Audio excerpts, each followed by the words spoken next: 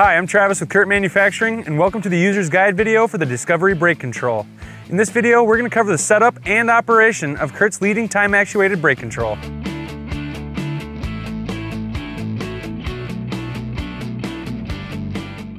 Begin by making sure the trailer wiring is connected to the vehicle. With the trailer connected, press and hold the brake pedal. The display will show the output setting. Adjust the setting to 2.0 by turning the output control right or left as needed.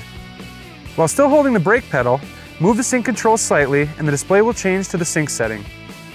Adjust the sync setting to 4.0 by sliding the sync control ahead or back as necessary.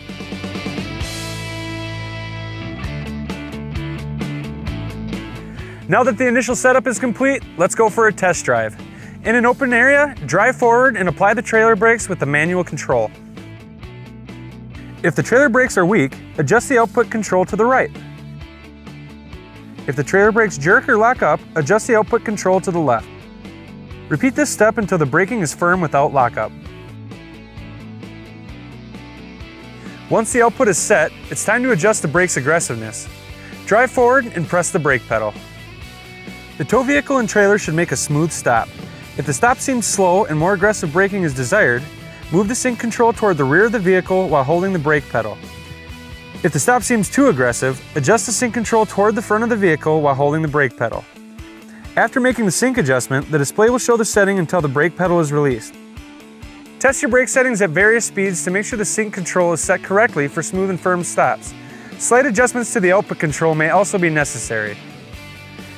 If you have any problems during setup, or if the brake control shows an unexpected display, refer to the troubleshooting guide in your user's manual to identify the problem and find the solution.